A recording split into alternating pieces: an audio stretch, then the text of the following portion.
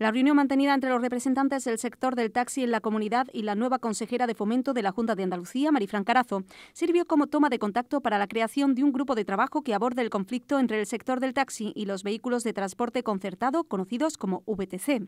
Las reclamaciones se centran en exigir que se cumpla con la ley vigente, que recoge que debe haber una licencia de VTC por cada 30 taxis, en pedir que se obligue a contratar los servicios de empresas como Uber o Cabify con al menos una hora de antelación, que dejen de estar geolocalizados y que tengan que regresar a su base cuando no estén de servicio. Representantes de la comitiva malagueña que ha tomado parte en la reunión con la consejera han transmitido un mensaje de tranquilidad a los compañeros, ya que dicen haberse encontrado con una actitud dialogante y dispuesta a abordar la situación, de manera que por ahora descartan ir a la huelga, a la espera de qué sucederá en el próximo encuentro, que tendrá lugar en unos 15 días. Hemos hablado con el presidente de la Asociación de Taxistas de Torremolinos, Francisco Martín, que puntualizaba que no desean quitar trabajo a los VTC, sino que simplemente se cumpla la ley. La VTC eh, siempre ha existido desde que yo recuerdo, hace más de 40 años, y ha convivido en Torremolino con el taxi sin ningún problema porque cada uno se ha dedicado a hacer el trabajo que le compete. De hecho, había 107 VTC frente a 135 taxis en Torremolino y nunca ha habido ningún problema. El problema reside cuando hay tal cantidad de VTC que no pueden vivir con el trabajo propio de la VTC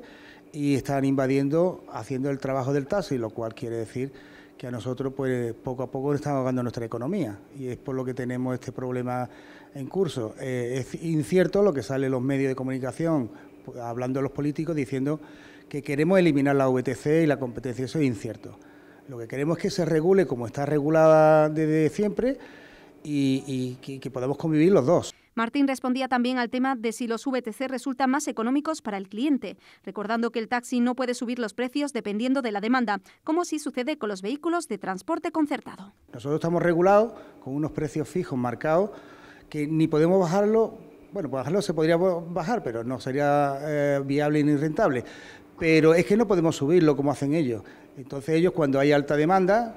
eh, no les importa quién necesita el taxi, pero si tienen que triplicar el precio, lo triplican porque como hay alta demanda, pues eh, la gente tiene que acudir a ello si, lo estiman oportuno y ahí no lo regula nadie. Entonces, eh, eso es incierto. El día que nos anulen a nosotros los taxis y se queden ellos solos,